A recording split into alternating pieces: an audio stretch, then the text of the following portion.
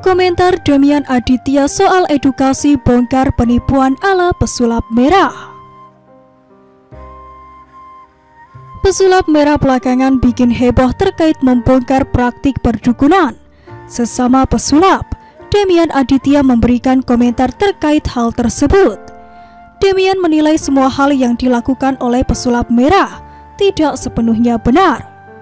Buat saya tentang dia cuma dilakukan itu tidak selamanya benar, kata Demian Aditya. Saat ditemui di studio Trans TV, Tendean Jakarta Selatan pada Selasa 13 September 2022 lalu. Menurutnya tidak semua orang dapat menerima edukasi yang diberikan oleh pemilik nama asli Marcel Radival itu. Dalam arti begini, kalau misalnya untuk edukasi, saya kurang setuju. Soalnya bisa dibilang, kalau untuk orang yang edukasi tinggi mungkin bisa menerima. Tuturnya kala itu. Tapi kan kadang-kadang kan ada orang yang langsung menyampaikan rata semuanya saja. Jadi benarnya dalam arti untuk jangan sampai orang tertipu dengan hal-hal serupa itu benar. Imbuhnya kala itu.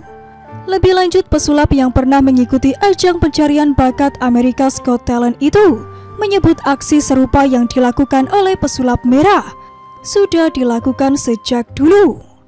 Tapi kalau misalkan buat edukasi, saya pribadi kurang setuju karena sebenarnya dari dulu sudah pernah ada. Terang Demian Aditya. Dari mulai ketangkap juga penggunaan yang di kursinya itu, saya lupa namanya. Ada juga yang di belakang sudah ketangkap polisi juga ada. Sambungnya kala itu. Hanya saja aksi tersebut tidak mendapatkan atensi dari masyarakat dan berbanding terbalik dengan apa yang didapatkan oleh pesulap merah saat ini. Jadi sebenarnya bukan edukasi, karena dari dulu pun sudah ada.